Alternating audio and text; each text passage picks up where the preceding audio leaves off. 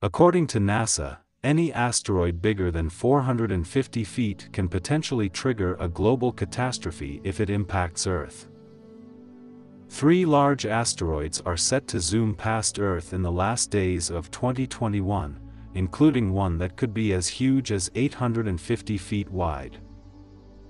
Before we continue further feel free to subscribe our channel so that you won't miss any of our updates.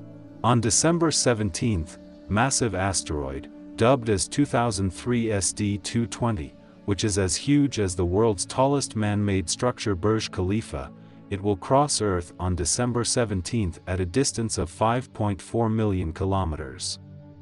While asteroid 2003 SD220 is said to be around 791 meters in diameter, studies also suggest that it could be much longer than that, around 1.5 kilometers.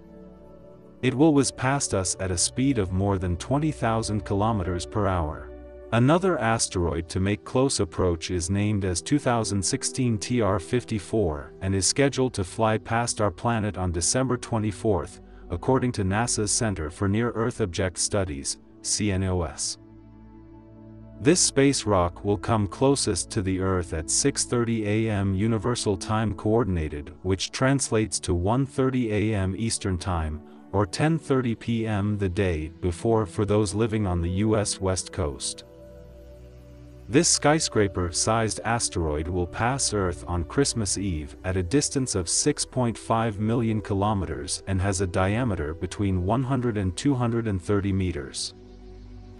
At its closest approach, the asteroid is expected to come around 4 million miles of our planet, or nearly 17 times the average distance between the Earth and the Moon. The third huge asteroids crossing within a week is named as 2018 AH possess a diameter between 84 to 190 meters and will pass Earth on December 27. It is estimated that it will pass relatively far away 4.5 million kilometers, it is to be noted that the asteroid came frighteningly close at 296,758 kilometers in 2018, a distance less than that to the moon.